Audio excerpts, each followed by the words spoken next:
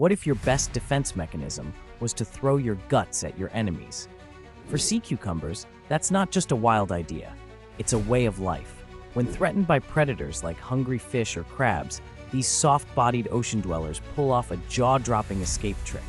They forcefully eject their own internal organs through their anus, turning their insides into a sticky, tangled mess that distracts and confuses attackers.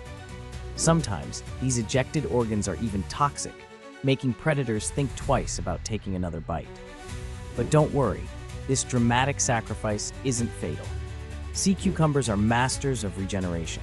Over the next few weeks, they can regrow their lost guts completely, ready to repeat the performance if danger strikes again.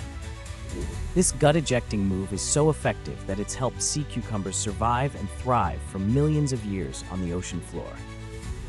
Next time you think your problems are tough, remember the sea cucumber, nature's ultimate escape artist. Like and subscribe before this cucumber regenerates.